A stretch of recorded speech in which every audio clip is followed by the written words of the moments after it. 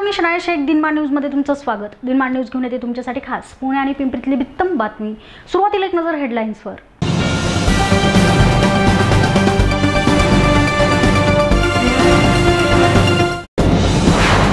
मावळमध्ये भारतीय जनता पक्षाला जबरदस्त हादरा बसण्याची शक्यता. मावळात भाजपच्या उमेदवारीसाठी रस्सी खेच. विधानसभा निवडणुकीसाठी संभाजी ब्रिगेड ही तयार. निवडणुकीच्या रिंगणात उतरवणार उमेदवार. पुण्यात विधानसभेची एक जागा मिळावी आरपीआयची मागणी. आणि ईडीने केली शरद पवारांवर सूडबुद्धीने कारवाई. राष्ट्रवादीचे पिंपरी चिंचवडमध्ये आंदोलन. मावळात भारतीय जनता पक्षाला जबरदस्त हाजरा बसण्याची शक्यता आहे. विद्यमान नामदार बाळा भेगडे यांच्या उमेदवारी पुढे मोठं आव्हान उभं टाकलंय. तळेगाव दाभाडे नगर परिषदेचे उपनगर अध्यक्ष सुनील शेळके यांच्या रूपाने तर दुसरीकडे गनिमी कावा करत मीही आमदारकीच्या रिंगणात उभा. असं म्हणत युवा मोर्चा अध्यक्ष रवींद्र भेगडे यांनी ही आमदारकी लढवायची मोहीम हाती घेतली आहे. सुनील शेळके आणि रवींद्र भेगडे या दोन भाजपचे शिलेदार मंत्री महोदयांना खंडाळा घाट दाखवण्यास सज्ज झाले आहेत मावळ तालुक्यातून विधानसभेसाठी भारतीय जनता पक्षातूनच बंडखोरी होण्याची मोठी चिन्हे निर्माण झाली आहेत. गेल्या अनेक महिन्यांपासून तळेगावचे माजी उपनगर अध्यक्ष सुनील शेळके यांनी राज्यमंत्री बाळा बेगडे यांच्या विरोधात दंड ठोपटले बेगडे तसेच शेळके या दोन्ही गटांची मावळात मोठी ताकद आहे. गाव भेट दौरा कार्यकर्ता मेळावा आरोग्य शिबिर अशा विविध संकल्पनेच्या माध्यमातून दोन्ही इच्छुक उमेदवारांनी आपली ताकद पणाला लावली आहे.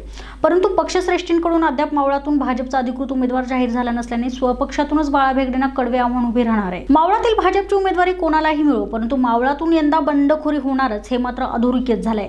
भाजपमध्ये पडलेल्या सध्या या फुटीचा फायदा काँग्रेस राष्ट्रवादी काँग्रेस तसेच इतर राजकीय पक्षांना होईल का? हे पाहणं आता महत्त्वाचं ठरणार आहे. प्रतिनिधी मोहन दुबे दिनमान न्यूज मावळ. विधानसभा निवडणुकीकरता आता राज्यातील इतर पक्षही तयार असून संभाजी ब्रिगेड आता निवडणुकीच्या रिंगणात आपले उमेदवार उभे करणार आहे.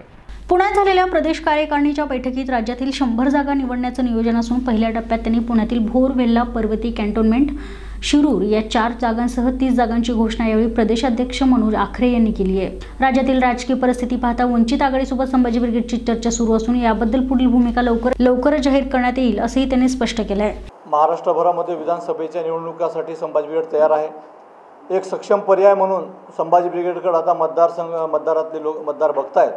आणि संभाजी ब्रिगेडच्या वतीनं आज आम्ही पहिल्या आणि दुसऱ्या यादी मिळून तीस लोकांचे तीस मतदारसंघ जाहीर केलेले आहेत. त्यामध्ये नाव घ्यायची तर पुणे कॅन्टोन्मेंट असेल भोरवेला असेल इंदापूर बारामती असेल नांदेड उत्तर असेल ना भोकर असेल उस्मानाबाद कळम असेल असे अनेक मतदारसंघ आहेत की ज्यामध्ये संभाजी ब्रिगेडची क कार्यकर्ते अत्यंत सक्षमपणे ताकदीने कामाला लागलेले आहेत. आणि या येणाऱ्या विधानसभेमध्ये निश्चितच संभाजी ब्रिगेड विधानसभेमध्ये आपली जागा निर्माण करेल. विधानभवनामध्ये आपलं स्थान निर्माण करेल ही अपेक्षा या ठिकाणी आम्हाला आहे. पुण्यात विधानसभेची एक जागा मिळावी अशी मागणी आरपीआयने केली आहे. पुण्यात संपन्न झालेल्या परिवर्तन मेळाव्यामध्ये भाजपा शिवसेना आणि आरपीआय युतीवर शिक्कामोर्तब करण्यात आले तेव्हापासून गेली बारा वर्ष लोकसभा विधानसभा महानगरपालिका निवडणुकांमध्ये आरपीआय युतीमध्ये आहे आणि पक्षाच्या वतीने प्रामाणिकपणे युतीचा धर्म शहरात पाळण्यात येतोय. पुण्याचे खासदार निवडून आणण्यामध्ये आर पी आयचाही सिंहाचा वाटा आहे. त्यामुळे विधानसभेच्या निवडणुकीमध्ये एक जागा आर पी आयला मिळावी अशी मागणी यावेळी करण्यात आली आहे. Republican Party of India Pune शहराच्या वतीने आज या ठिकाणी जी पत्रकार परिषद आयोजित केलेली आहे यामध्ये प्रामुख्याने रिपब्लिकन पक्षाच्या वतीने पुणे शहरामध्ये तीन जागेचं सुरुवातीला आम्ही मागणी केली होती परंतु तीन जागेची मागणी केल्याच्यानंतर पुन्हा सर्व कार्यकर्त्यांची बैठक घेऊन सर्व नेतेमंडळीची बैठक घेऊन एका जागेची एका जागेसाठीच आम्ही पुणे कॅन्टोन्मेंट मतदारसंघ या सा या मतदारसंघाचीच मागणी लावून धरली आहे. त्याचं कारण असं आहे की कॅन्टोन्मेंट मतदारसंघामध्ये दलितांची संख्या ही दीड दीड लाखाच्या आसपास आहे. त्या राखीव आणि हा जो मतदारसंघ आहे हा राखीव मतदारसंघ असल्या कारणाने त्या ठिकाणी रिपब्लिकन पक्षाचा जर रिपब्लिकन पक्षाला ही जर जागा जर सोडली तर निश्चितच त्या ठिकाणी एक चांगल्या पद्धतीचा निकाल आम्ही पक्षाच्या वतीने देऊ शकतो. आणि गेली बारा वर्ष झाले आम्ही भाजप समेत भाजप सेनेसमेत असताना देखील या पुण्यातनं दोन खासदार निवडून दिले. आणि गेल्या निवडणुकीमध्ये तर आठीच्या आठी आमदार हे भाजपचे आम्ही निवडून दिले. आम्ही कुठल्याही जागेची किंवा कुठल्याही याची अपेक्षा न बाळगता इमाने इदबारे या ठिकाणी आम्ही काम केलेलं आहे. तर संभाव या या निवडणुकीमध्ये आमची एक प्रामुख्याने मागणी आहे आणि अशी मागणी आम्ही या जिल्ह्याचे पालकमंत्री आदरणीय चंद्रकांत दादा यांच्याकडे केली. जिल्ह्याचे मा- पुणे शहराचे नवनिर्वाचित खासदार आदरणीय बापट साहेब यांच्याकडे केली आणि कालच या शहराच्या ज्या अध्यक्ष आहेत माधुरीताई यांची देखील या ठिकाणी यांच्याही कानावर या सगळ्या ठरावाच्या गोष्टी आम्ही सांगितलेल्या आहे शिखर बँकेच्या कथित घोटाळ्याप्रकरणी राष्ट्रवादी काँग्रेसचे अध्यक्ष शरद पवार आणि माजी उपमुख्यमंत्री अजित पवार यांच्यावर सक्तवसुली संचालनालयाने अर्थात ईडीने दाखल केलेल्या गुन्ह्याच्या निषेधार्थ राष्ट्रवादी काँग्रेसच्या वतीने आंदोलन करण्यात आले. पिंपरी चौकात राष्ट्रवादीने रास्ता रोको केलाय.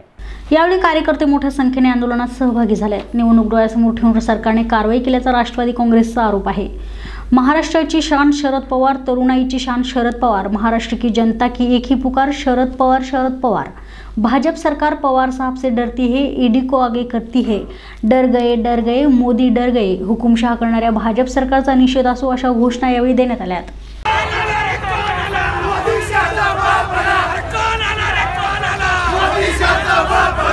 शरद पवार से डरती है शरद पवार से डरती है शरद पवार से डरती है अरे कौन आला रे कौन आला अरे कौन आला. रे कौन आला. अरे शरद पवार से डरती है. शरद पवार से डरती है.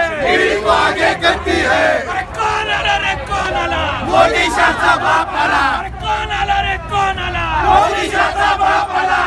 आता वेळ झाली का छोट्याशा ब्रेकची पण ब्रेकनंतर तुम्ही पाहत राहा दिनमान न्यूज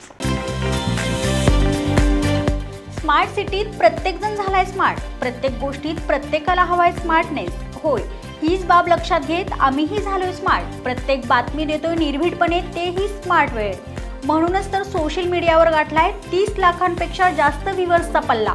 तोही स्मार्ट पुणेकरांचा. प्रत्येक बातमीत मिळेल एक अचूकता आणि सत्यता. म्हणूनच सोशल मीडियावर जिंकतोय हजारो लोकांची मने. प्रत्येक बातमीच ठरते प्रभावशाली. म्हणूनच होते ती फॉरवर्ड आणि सुपरफास्ट असाच करणार प्रवास प्रत्येक क्षेत्रात तुमच्या साथीने. पाहत रहा दिनमान न्यूज एक निर्भीड व्यासपीठ. सांगलीतल्या सलून मालकाने बनवलेला सोन्याचा वस्त्र तुम्ही पाहिलाय. आता पिंपरी चिंचवडमधील एक सलून मालक पहा. एका वेळी आठ कात्रीने हेअरस्टाईल तो करतो. तर लायटर आणि मेणबत्तीच्या आगीने हेअर सेटिंगही तो करतो. कसं पाहूयात या स्पेशल रिपोर्टमधून एक दोन तीन चार पाच सहा सात नव्हे तर तब्बल आठ कात्र्यांनी हेअर कटिंग करणाऱ्या या अवलियाचं नाव आहे प्रशांत खरे. प्रशांत लायटर आणि मेणबत्तीच्या आगीने हेअर सेटिंग सुद्धा करतो. प्रशांतच्या या मेथड्स ग्राहकांच्या पसंतीला उतरल्यात आणि बघता बघता पिंपरी चिंचवडमध्ये ते फेमस झालेत. मी सांगू इच्छिते की मी बरीच गेली बरीच वर्ष मी बाकी हेअर सलूनकडमध्ये जाऊन किंवा हेअरकट केलेले आहेत. शक्यतो एकाच हे सीझरने हेअरकट केला जातो.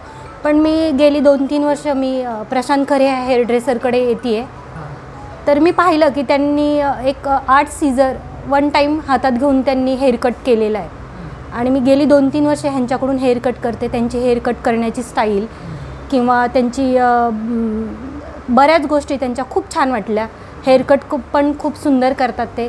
त्याचप्रमाणे ते जेंट्सवर जेंट्सच्या हेअरकटवर टॅटू काढतात. किंवा मेणबत्ती लायटर याच्या साह्याने हेअर सेटिंग करतात. शक्यतो असं कुठे पाहायला मिळत नाही. वेगवेगळे हेअरस्टाईल आणि त्या हेअरस्टाईल करण्यासाठी वापरल्या जाणाऱ्या अनेक मेथड्स यामुळे प्रशांत खरे पिंपरी चिंचवड शहरात चांगलेच प्रचलित आहेत. म्हणूनच त्यांच्या सलूनमध्ये येण्यासाठी ग्राहकांना दोन ते तीन दिवस आधी अपॉइंटमेंट घ्यावी लागते ह्याविषयी मला खूप आनंद वाटतो आणि पूर्वीचे लोक म्हणजे कसे की पोत्यावर बसून वगैरे काम करत होते. आता ते स्टाईल वगैरे वेगवेगळ्या प्रकारचे झाले असल्यामुळे आता इलेक्ट्रिक मशनी निघाल्या. पूर्वीच्या साध्या मशनी होत्या.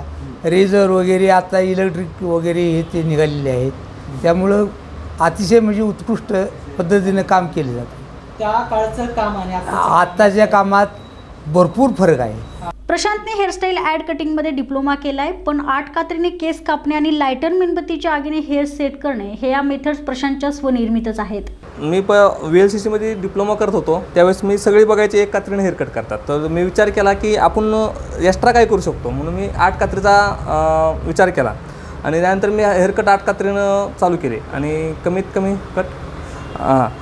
तर हा म्हणजे हे आठ कात्रीने हेअरकट केलेले खूप गाजले माझे. आणि सगळ्यांचे फेमस झाले की यार चला आठ कात्रीनं हेअरकट करणारा कोण ना कोणतरी आहे. तर डिप्लोमामध्ये करत असताना मला एक आयडिया आली की आपण आठ कात्रीनं हेअरकट करू शकतो. त्या त्यावेळेसपासून मी आत्तापर्यंत आठ कात्रीनं हेअरकट करतो चार ते पाच वर्ष झाले मी कंटिन्यू आठ ते आठ कात्रीने हेअरकट करतो लेडीजचे खूप खूप चांगला प्रचार सुरू आहे आणि आत्ता बुकिंग सिस्टममध्ये माझं काम चालू आहे. जेंट्स लेडीज दोन्ही पण बुकिंग सिस्टममध्ये येतात. मा माझं रेकॉर्ड वगैरे करायची पण कल्पना आहे. वापस मला हे करायचं आहे म्हणजे म्हटलं का स्कूल वगैरे टाकायची इच्छा आहे. ट्रेनिंग स्कूल या मेथड सर्व सलूनमध्ये पोहोचवण्याचा प्रशांतचा मानस आहे. तेव्हा भविष्यात तुम्ही जात असलेल्या सलूनमध्ये ही मेथड आढळली तर आश्चर्य वाटून घेऊ नका. प्रतिनिधी मोहन दुबे दिनमान न्यूज पिंपरी चिंचवड.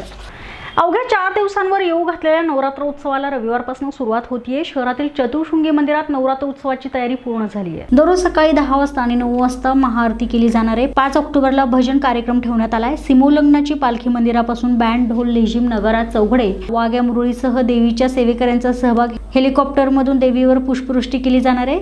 नवरात्र उत्सवानंतर मंदिराचं जीर्णोद्धाराचं काम सुरू होणार आहे अशी माहिती सुद्धा यावेळी देण्यात आली आहे पोलीस होमगार्ड अनिरुद्ध सेवा केंद्राचे स्वयंसेवक हे म- मंदिरात आपल्या यात्रेच्या व्यवस्थेसाठी येतात. नाही रोपवेचं प्रपोजल कॅन्सल केलं आहे त्याच्याऐवजी एस्कलेटरचं प्रपोजल आहे. त्याप्रमाणे आपण आपला ऑलरेडी रिवाईज प्लॅन कॉर्पोरेशनकडे सबमिट केला आहे तो एकदा अप्रूव्ह झाला की दिवाळीच्या नंतर आपलं जीर्णोद्धाराचं काम चालू होईल. श्री महालक्ष्मी मंदिर श्री बनसीलाल रामनाथ अग्रवाल धार्मिक आणि सांस्कृतिक ट्रस्टच्या वतीने आयोजित नवरात्र उत्सवाचा प्रारंभ रविवारी अर्थात एकोणतीस सप्टेंबरपासून होणार आहे. सकाळी नऊ ते अकरा यावेळेस सावित्रीबाई फुले पुणे विद्यापीठाचे कुलगुरू डॉक्टर नितीन करमळकर यांच्या हस्ते घटस्थापना होणार आहे. सायंकाळी सहा वाजता मंदिरावरील विद्युत रोषणाईचं उद्घाटन पुण्याचे पोलीस आयुक्त के व्यंकटेशम यांच्या हस्ते करण्यात होईल. याशिवाय दहा दिवसांमध्ये श्री सुक्त अभिषेक महालक्ष्मी महायाग महाआरती श्री दुर्गा सप्तशती महायाग कनकधारा स्त्रोत असे धार्मिक कार्यक्रम देखील होणार आहेत अशी माहिती ट्रस्टचे प्रमुख संस्थापक विश्वस्त राजकुमार अग्रवाल यांनी दिली आहे. महालक्ष्मी मंदिर सार्वजनिक नवरात्र महोत्सव. नवरात्र महोत्सव तारीख एकोणतीसपासून सुरू होत आहे. आठ ऑक्टोंबरपर्यंत हा कार्यक्रम चालणार आहे. यावेळेला धार्मिक कार्यक्रमाबरोबर सामाजिक कार्यक्रमाचीही याला जोड देण्यात आलेली आहे. मंदिराला यावेळेला शीश महलचं असं डेकोरेशन करण्यात आलेलं आहे. विद्युत रो रोषणाई जी आहे ती काही वेगळ्या प्रकारे करण्याचा प्रयत्न आम्ही केलेला आहे. वैशिष्ट्य यामध्ये की यावर्षी कन्यापूजन जो विषय असतो तो कन्यापूजनला आपण देवदासींच्या मुलींना आपण कन्यापूजनसाठी आपण बोलवलेलं आहे. सफाई कामगार महिला अंध म- महिला वृद्धाश्रमातल्या महिला असे वेगवेगळे आपण कार्यक्रमाला यायला ल- बोलवलेलं आहे आपण.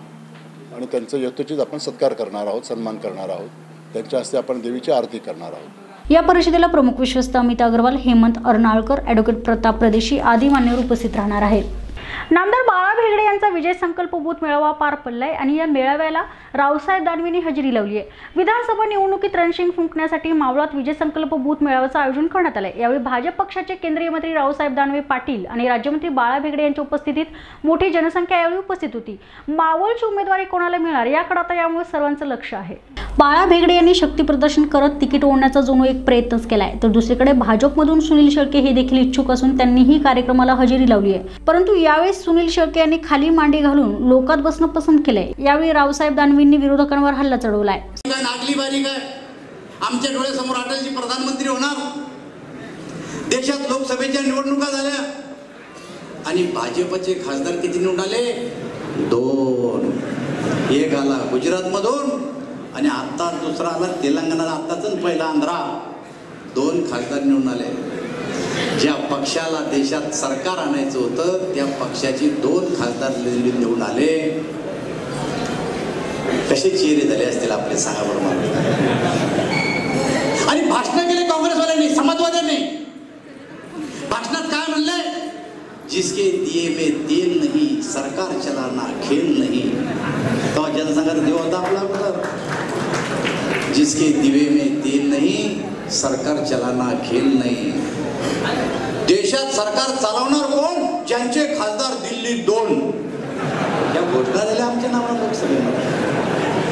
पण मित्र अशाही परिस्थितीमध्ये ह्या लाईनीमध्ये बसलेली जी माणसं आहेत ना यांनी जमिनीवर पाय ठेवले. हल्ले नाही कारण ते विचारला बांधलेले लोक होते. पण आज काय परिस्थिती आहे? अरे तुमचे चाळीस बेचाळीस खासदार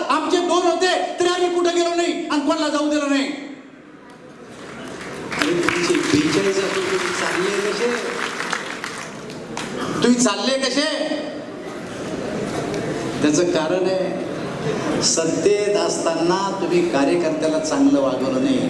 आज काँग्रेसची राष्ट्रवादीची परिस्थिती अशी आहे माणसं श्रीमंत आहे पक्ष गरीब झालाय.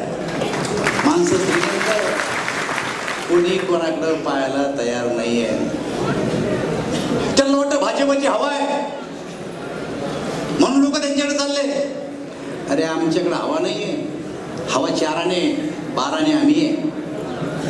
आणि हवा जरी असते हवा तुमची बी होती. पण तुमचे तोंड हवेकडे होते. यंत्रणा तुमच्याकडे नव्हती. तुम्ही खेड्यात राहणारे माणसं आहे मी बी खेड्यात राहणारा माणूस आहे.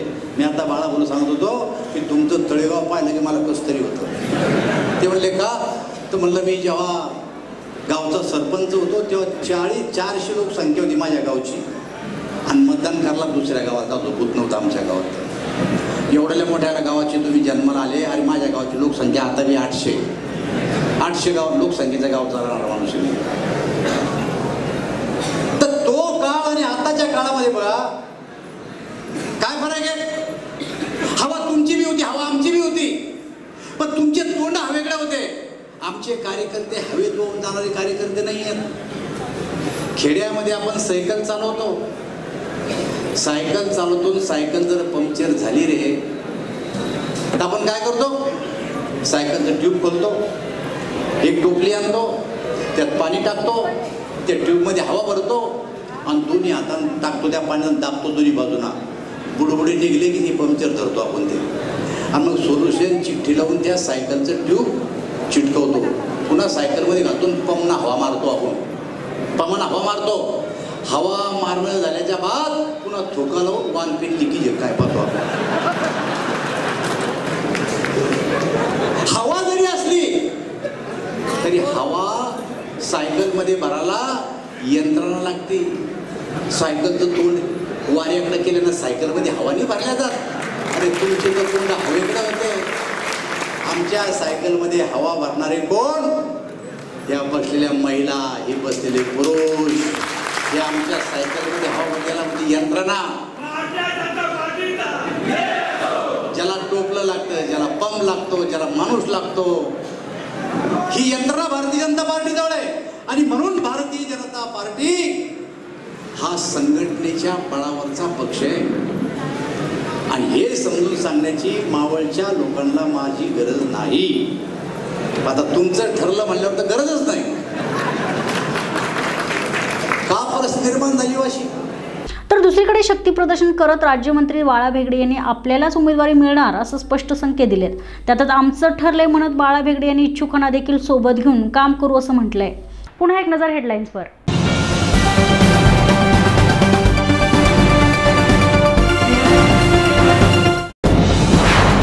मावळमध्ये भारतीय जनता पक्षाला जबरदस्त हादरा बसण्याची शक्यता मावळात भाजपच्या उमेदवारीसाठी रस्सी खेच. विधानसभा निवडणुकीसाठी संभाजी ब्रिगेड ही तयार निवडणुकीच्या रिंगणात उतरवणार उमेदवार. पुण्यात विधानसभेची एक जागा मिळावी आरपीआयची मागणी. आणि ईडीने केली शरद पवारांवर सूडबुद्धीने कारवाई. राष्ट्रवादीचे पिंपरी चिंचवडमध्ये आंदोलन. याचबरोबर आजचं बातमीपत्र येथे संपलं. मात्र तुम्ही पाहत राहा दिनमान न्यूज. एक निर्भड व्यासपीठ. नमस्कार.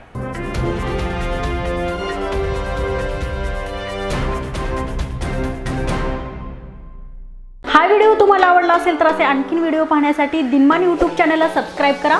बेल बटन दाबा आणि ताज्या घडामोडींसाठी W W dot Dinman dot इनला नक्की भेट द्या.